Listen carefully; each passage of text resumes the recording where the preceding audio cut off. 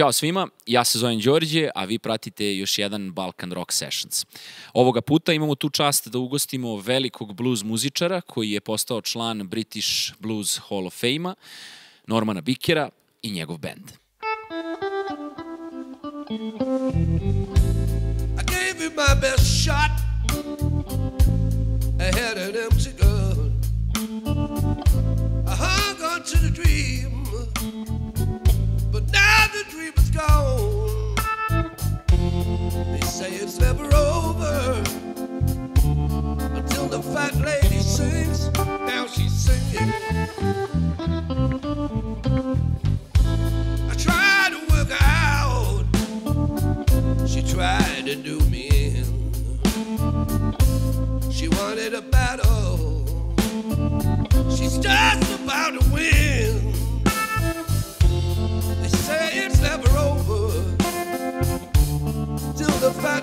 Lady sings. Now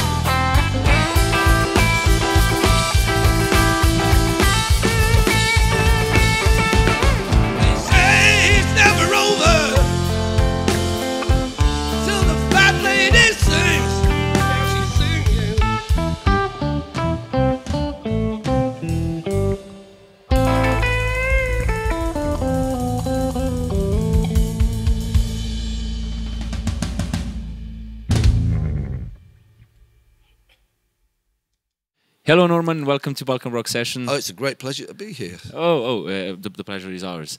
um, it's, a, it's a great t-shirt you have on. Oh, well, it's, it's in your honour, you know, Yeah, so we have to yeah. do this. Yeah, but uh, I have the same, so yeah. awesome. You lot Uh, are better at it than mine, though, but so. No, no, I think uh, the, the, the our viewers would disagree. So yeah. okay, so tell me how was how was on your tour? The tour's been absolutely fantastic. It, it's been uh, we've played in so many countries, and uh, it's been great everywhere we've been. It's been because after the COVID thing, we thought it could be difficult, and and actually getting around has been fairly easy, which was I think we were just lucky, you know, really that. Um, we didn't uh, get so many laws got changing and, and stuff. So it's been really good, and uh, and it's.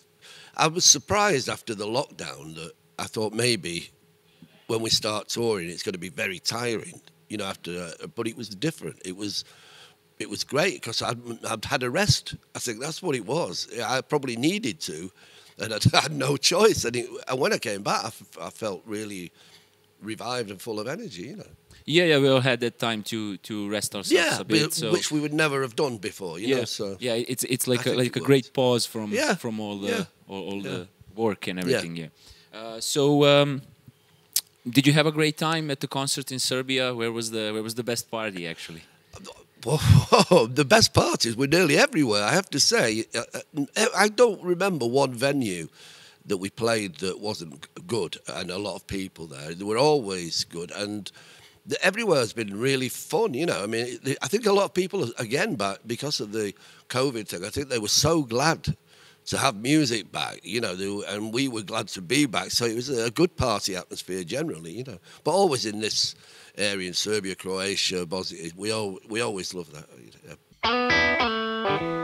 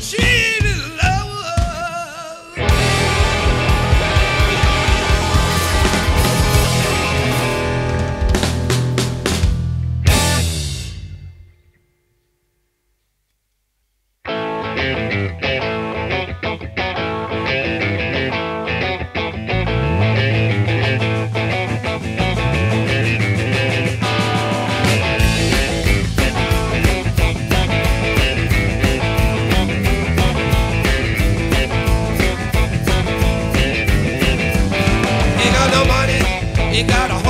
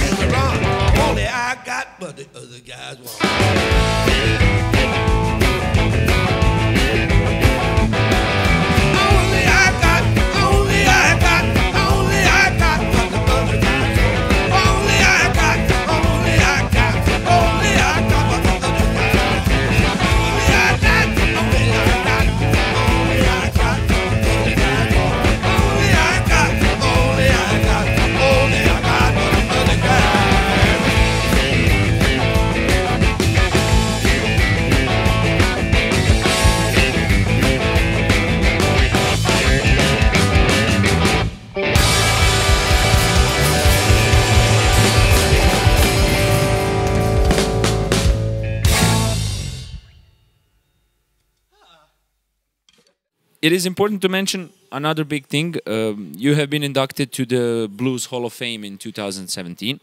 Uh, what does that mean to you to be among the greats of blues? It's the hardest thing, uh, hardest question I ever get asked because uh, there's so many great musicians out there that I would have thought should be in there. And I was, you know, when you got Mick Jagger and Keith Richard in there, I mean, as being well known, I mean, I was way down the pecking order of people knowing, you know, so.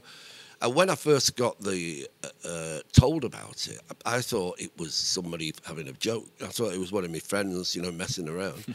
and I, then I thought, oh, maybe I've been nominated for something. And then when they said, no, you know, you're a le- legendary musician from England. I thought, what? And uh, there was eight people, only eight. You know, Eric Clapton, Jeff Beck, John Mayall, Jack. You know, In there with that. And I always felt a really strange. Even my friends say, you know, when they see me on the TV or whatever being interviewed about it, they always say it's the only time I ever see you look nervous because I feel a bit like a kid. You know, when you get good grades at school and, uh, and your parents go, "Oh, that's so." It was like that. A gig, you could talk about a gig, you could talk about records, but that's quite a weird thing because there are so many fantastic guitar players who I like that are not in there, and so it, I felt really we honoured. I mean, of, of course, honoured. You, bound to be, but it was a, it's a weird feeling actually. I have to say.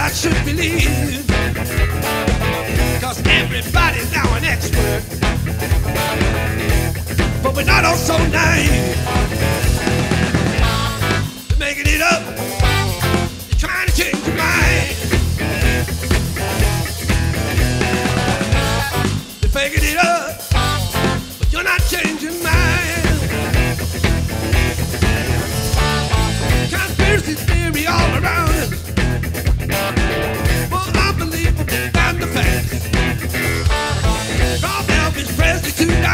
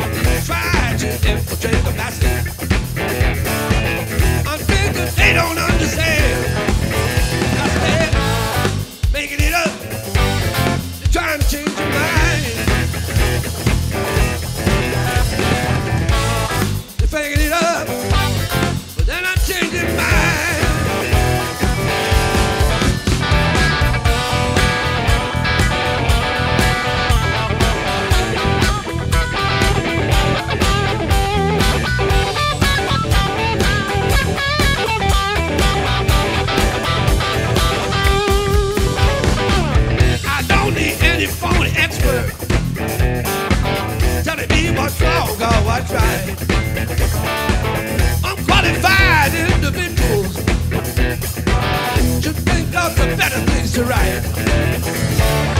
If I am after information, I've got my own eyes to see. Why all my faculties are working, that's quite enough for me.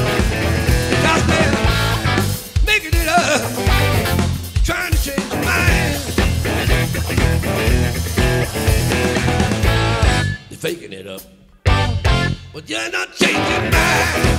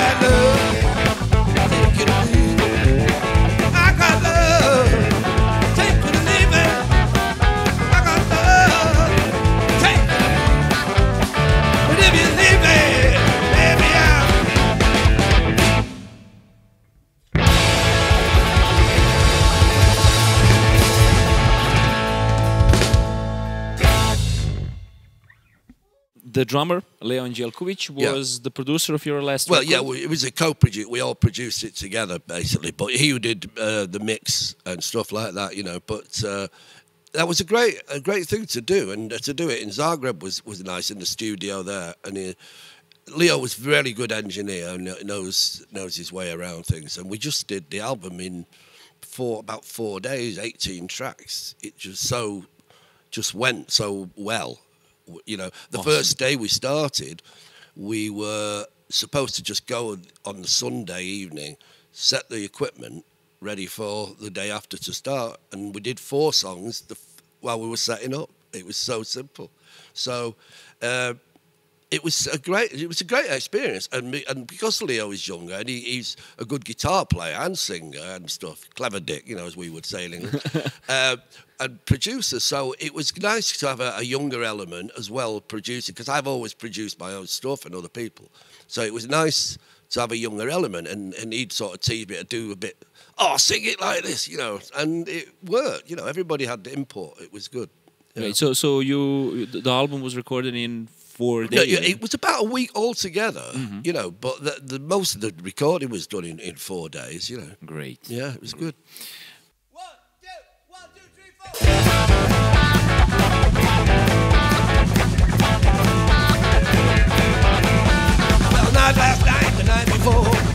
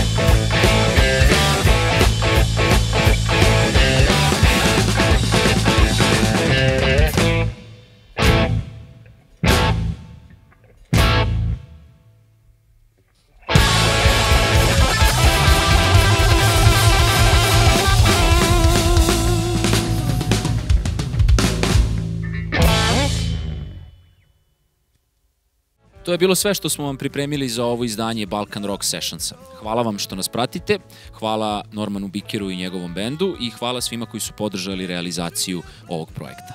Ukoliko vam se dopada ovo što radimo i želite da nas podržite, evo nekoliko načina kako to možete da uradite. Subscribeujte se na naš YouTube kanal, pretplatite se na Patreon ili možete da kupite naš merch, odnosno Balkan Rock majice. Ukoliko imate neke ideje, sugestije ili kritike, uvek možete ostaviti dole u komentaru. E, Ako nas još uvek niste zapratili, možete to uraditi na Instagramu i na Facebooku. A mi se vidimo u sledećem izdanju Balkan Rock Sessions. Pozdrav od cele ekipe. Ćao!